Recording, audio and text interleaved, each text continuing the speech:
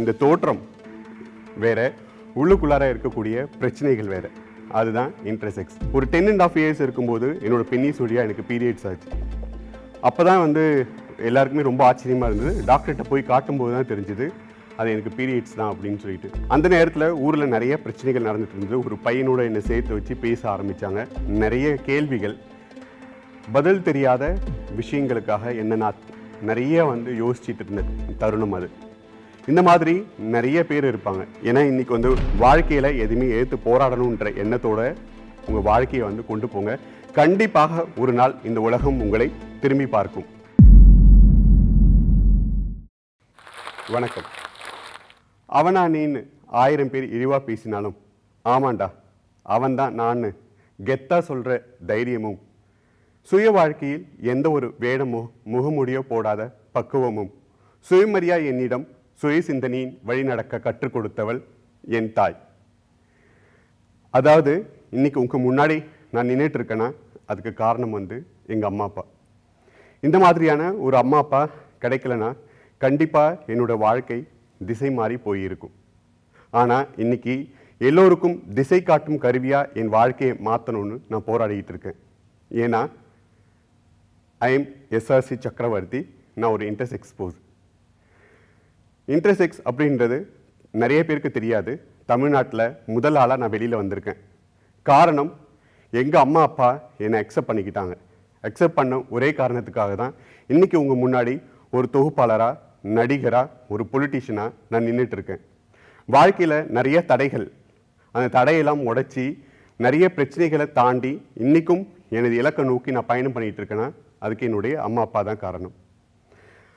அப்படிப்பட்ட ஒரு அம்மா அப்பாவுடைய ஒரு சாக்ரிஃபைஸ் அவங்களுடைய அன்பு அதை பற்றி தான் இன்றைக்கி நான் உங்ககிட்ட பேச போகிறேன் என்னை பற்றி எத்தனை பேருக்கு தெரியும் அப்படின்றது தெரியாது. இந்த தோற்றம் வேற உள்ளுக்குள்ளார இருக்கக்கூடிய பிரச்சனைகள் வேறு. அதுதான் இன்டர்செக்ஸ் நான் பிறக்கும்போது எல்லார மாதிரியும் ஒரு பையனாக தான் பிறந்தேன்.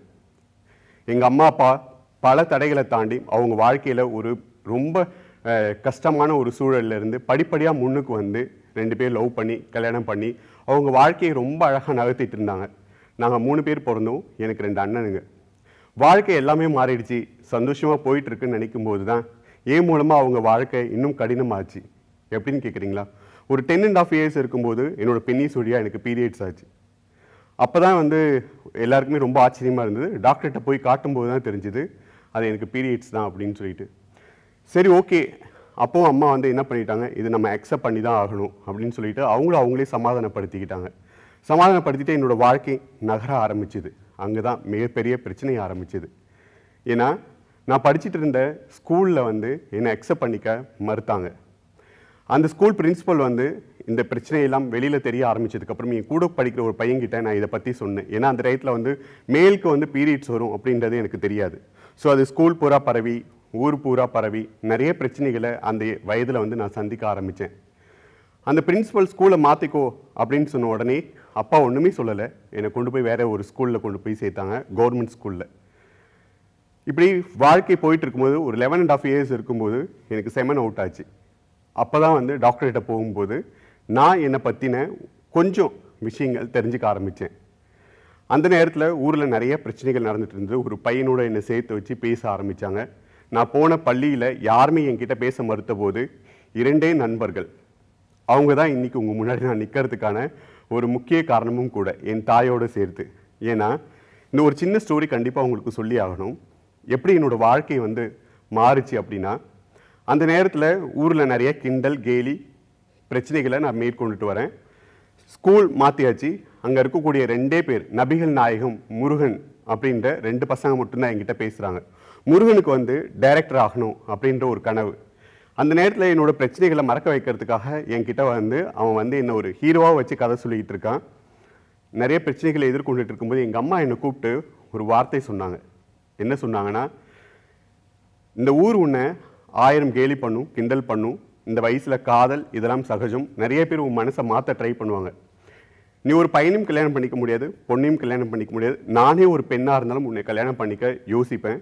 உன்னோட வாழ்க்கையை எந்த விதத்துலாச்சும் வித்தியாசமாக மாற்றிக்கோ அப்படின்னு அம்மா சொல்கிறதுக்கும் அவன் என்னை ஹீரோவை வச்சு கதை சொல்கிறதுக்கும் அங்கே தான் என்னோடய வாழ்க்கை மாற ஆரம்பிச்சுது அப்படின்னு சொல்லலாம்.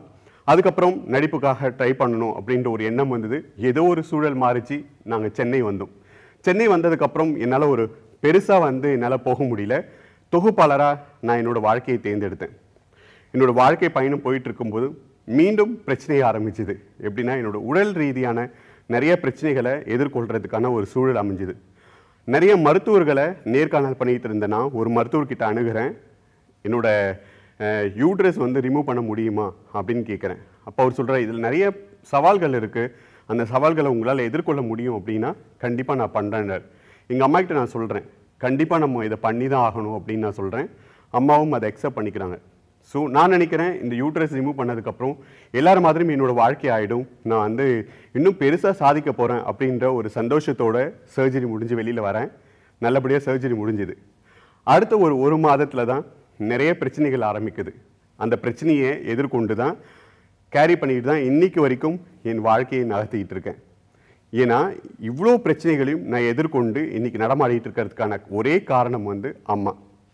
ஏன்னா என்னோட பெற்றோர்கள் என்னை அக்செப்ட் பண்ணிக்கிட்டாங்க. அவங்க அக்செப்ட் பண்ணும் பண்ணுவாங்க அப்படின்றது என்னுடைய கருத்து. ஏன்னா இன்னைக்கு நான் பெருசாக சம்பாதிக்கலை பெருசாக ஒன்றுமே பண்ணலை.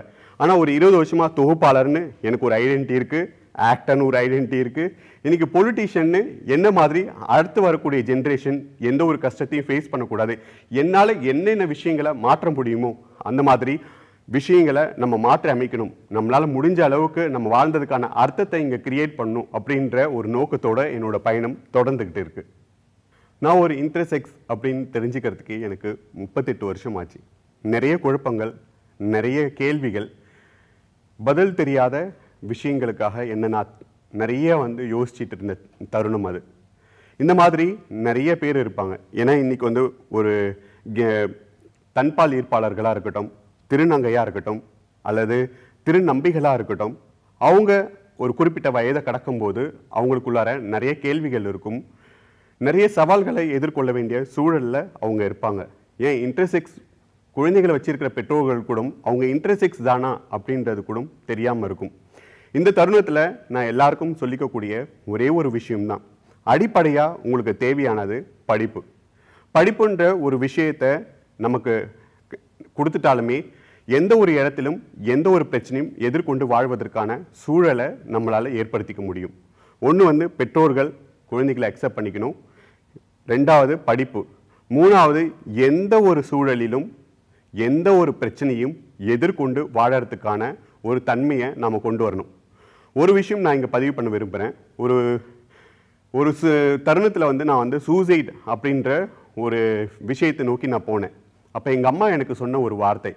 கடவுள் மனிதனுக்கு கொடுத்த வரம் சாபம் ரெண்டுமே என்னென்னா வாழ்க்கையில் எந்த ஒரு பிரச்சனை வந்தாலும் அதை எதிர்த்து போராடணும். கடவுள் கொடுத்த உயிரை கடவுளுக்கு மட்டுமே எடுக்கிறதுக்கான உரிமை இருக்குது அது வரைக்கும் நீ எந்த ஒரு பிரச்சனையுமே எதிர்த்து போராடணும் அப்படின்னு எங்கள் அம்மா சொன்னாங்க. அதனால தான் இன்னைக்கு வரைக்கும் இவ்வளோ வலிகள் இருபத்தி நாலு மணி நேரமும் முந்நூற்றறுபத்தஞ்சு நாளும் ஃபுல் பாடியில் பெயின் யூரின் பிரச்சனை என்னோட சர்ஜரிக்கு அப்புறம் யூரின் பிரச்சனை ப்ரெஷர் கொலஸ்ட்ரால் தைராய்டு. இப்படி நிறைய பிரச்சனைகளை வந்து நான் எதிர்கொண்டு இன்றைக்கும் என்னோடய வாழ்க்கையை ஏதோ ஒரு விதத்தில் ஒரு பயனுள்ளதாக மாற்ற முடியும். என் தாய் தகப்பன் அவங்க எனக்காக அவங்க சாக்ரிஃபைஸ் பண்ண வாழ்க்கைக்கு ஒரு அர்த்தம் கொடுக்க முடியும் அப்படின்றத எதிர்நோக்கி இன்றைக்கும் நான் நடப்போட்டுருக்கேன்னா ஒரே ஒரு ரீசன் தான். ஒன்று உங்கள் அம்மா அப்பா உங்கள் மனசில் நினச்சிக்கோங்க. வாழ்க்கையில் எதுவுமே எடுத்து போராடணுன்ற எண்ணத்தோட உங்கள் வாழ்க்கையை வந்து கொண்டு போங்க. கண்டிப்பாக ஒரு நாள் இந்த உலகம் உங்களை திரும்பி பார்க்கும். ஆனால் என் வாழ்வை மற்றவருக்கு திசை காட்டும் கருவியாய் வாழவே முயற்சித்து வருகிறேன். காலம் விரைவில் உங்கள் அனைவருக்கும் உணர்த்தும் நான் யார் என்று. நன்றி ஜோஸ்டாக்கு இந்த வாய்ப்பு அளித்ததுக்கு இந்த வீடியோ உங்களுக்கு பிடித்திருந்ததுன்னா ஃப்ரெண்ட்ஸோட ஷேர் பண்ணுங்கள் கருத்துக்களை மறக்காமல் கமெண்ட்ஸில் பதிவு பண்ணுங்கள்